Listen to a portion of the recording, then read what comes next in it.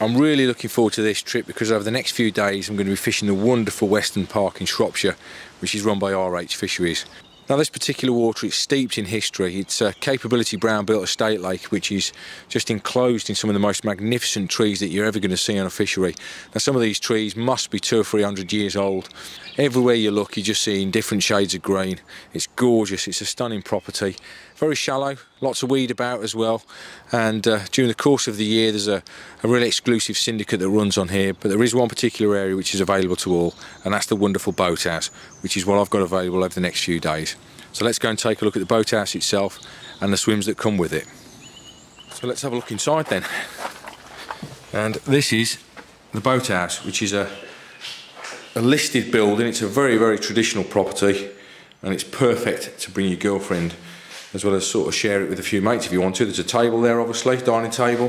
There's a bait freezer, a microwave, sink, fitted kitchen, kettle, toaster, oven, all the utilities and bits and pieces that you need. So it is absolutely lovely. And as we move through the building, this is the bedroom.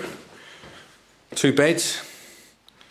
Lovely traditional looking property. You've got a TV down here as well, a little couch. And then you've got the shower and toilet as well. This is the shower. Perfect to get a, a wash after you've hauled one of those biggins. And then you've got your own little viewing area as well out there, which is nice and private. And um, you've got a toilet as well, which is uh, just through here. I can open the door. Yeah, a toilet is a toilet, I know. But there you go, there's the toilet. And when you come out the boathouse, you basically you get three swims. And obviously there's a little picnic area you can get. And this is the swim that I'm in. This is the right hand boat boathouse swim. And just have a quick look in here. And there it is. Rods are out at the moment. And the area that you're fishing to is that far bank over there. Nice and shallow. The fish move across from the left hand area of the lake or the right hand area of the lake. That's basically the interception point. It's uh, right slap bang in the middle of the lake. Brilliant area. And you get this swim and then you get through here. This is what's called the African tree swim where you go through all the rhododendron bushes. Absolutely gorgeous to look at. Very, very scenic and very private as well. Here we go. And there's the African tree, which is one of the most outstanding trees I think I've ever seen, let alone on this fishery.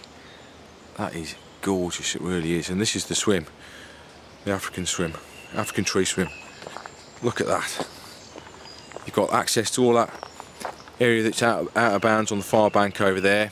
You've got some nice close-in spots as well down here to the right off the reeds, as well as some open water areas. Brilliant swim. And then the third swim that you get is the left-hand boathouse swim, which we're going to have a look at now. And you access this area, the left-hand boathouse swim, through the gate. We go through the gate, and there it is. This is the left-hand boathouse swim. Again, the, the best spots really are against the far margin, tight in over there where it's out of bounds. You can go around there to bait up, but there's no swims over there, so the carp love to patrol that area. You've obviously got some nice close-in spots as well. Just down here a set of pads, which is really nice. And then just off these reeds. But look at that for a lake. Absolutely stunning. You're not going to find a better lake than this in the UK. Or better looking lake, I should say.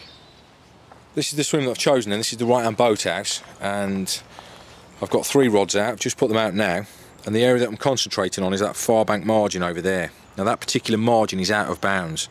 You can't actually fish from over there, but you can go around and bait up, and that's basically what I've done. Is I've gone across to that that side and spread liberally about 10 or 15 kilos of boilie all the way along that length, and uh, I've got the left-hand rod tight into the margin over there towards those overhanging trees, just where the reeds are, and then I've got the middle rod towards those rhododendron bushes in the gap there and then the right hand rod in the gap towards those trees.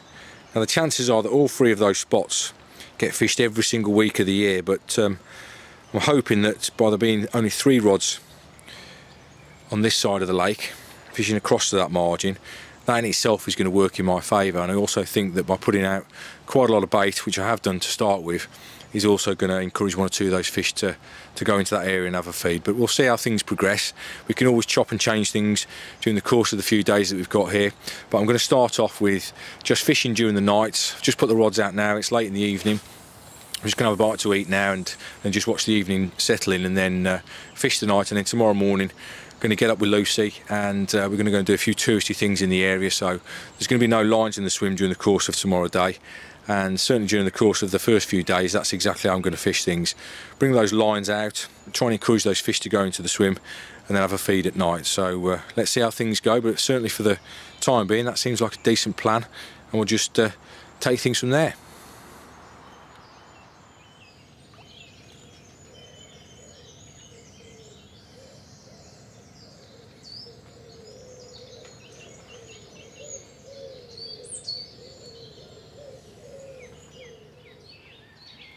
first night on Weston Park ended up with two lovely fish and this is the biggest of the two a 27 pounder.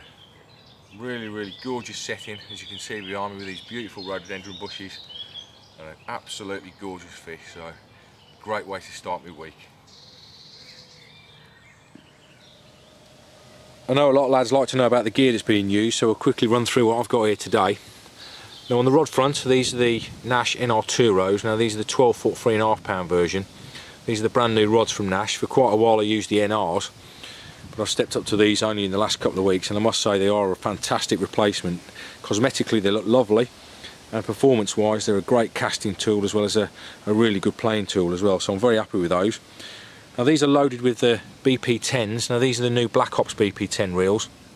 They're a budget reel but I must say for what you pay for they are absolutely fantastic. They really are. There's a lovely smooth drag system there and uh, you know all round wise I must say first rate very happy with them. And these are loaded with uh, 15 pound decam line. And as we move along the setup towards the indicator these are the R3 alarms. Now R3 alarms are absolutely first rate. These are the best alarms that I've ever ever used. I've used quite a few alarms over the years and I'm one of these anglers who, who does tight line an awful lot and I, I, absolutely hate false bleeps and there's one thing that the uh, the R3s does sort of boast over other alarms is that they really don't give out any false bleeps. If something's bleeping it means that something's happening at the business end so first rate alarm. Now if you've seen any of uh, recent video blogs you'll know that I've for quite a while I've been using the solar indicators. Uh, I used the butt banger indicators for, for quite a while and the reason for that is I've never really been into the indicators that Nash has brought out over the last few years. I've, I'm very much like a, a rigid arm indicator. And it isn't until only the last couple of weeks that I've changed over to these and they really are fantastic. They really are. I can see me using these for quite a while now. So I'll be very happy about that because he's always nagging at me for, for using other companies gear. But um, I must say I'm one of those anglers who will only use gear that I really do like. And at the moment I'm really much into these slapheads and uh, the R3's brilliant alarm. So that is my setup really happy with it and it works for me.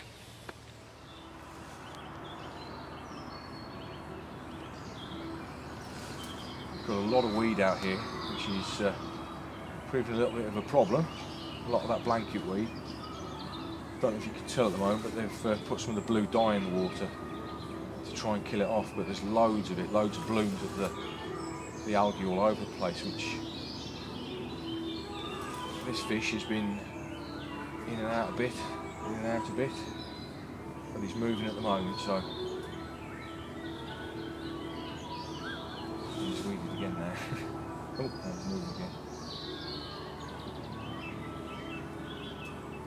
the fish that I caught last night really did fight hard, and uh, this one is pretty much the same, weeded himself again.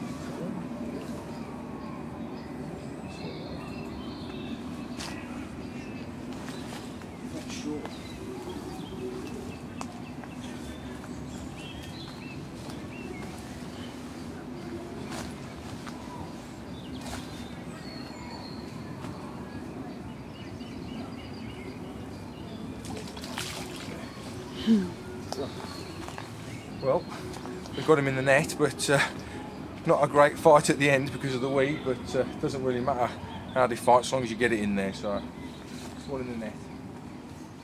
Well, the fish went absolutely mental last night, ended up with four during the night and uh, one just before dark as well.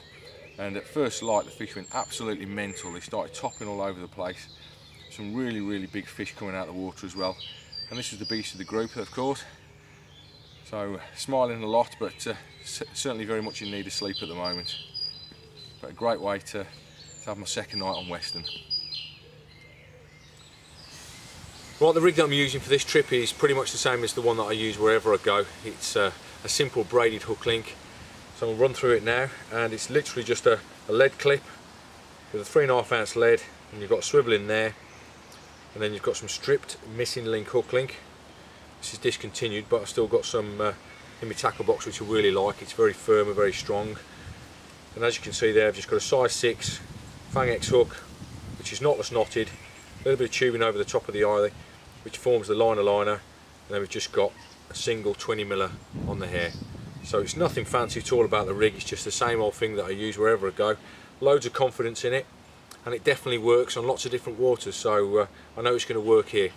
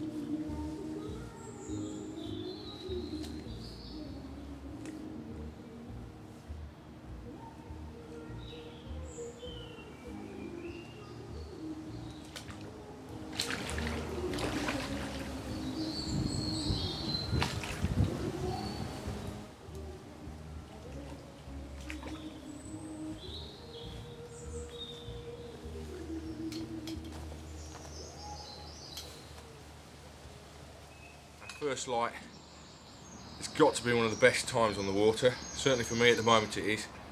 And this morning has produced this lovely character. I mean this is a real old fish. This, this must be one of the oldest fish in the lake. Jet black. Lots of marks and scars all over him to tell his tales. And uh, today he put up an absolutely colossal fight. He really did. I thought I got one of the big commons the way he fought. He was very very hard all the way in but equally I've been very very pleased and very fortunate to have caught it so very very much the icing on the cake. Have a brilliant trip.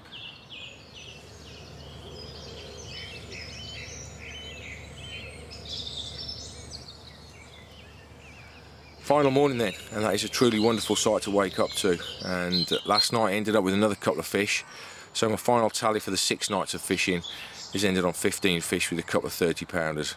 I've had a really great time. Mainly sort of fish during the, the afternoons and the evenings and the nights, resting in the swim in the mornings and uh, the middle part of the day. But it's been a great few days, so my thanks to RH Fisheries for inviting me down here. And if you're ever interested in having a trip yourselves, then visit the RH Fisheries website where you can make yourself a booking. Thanks for watching.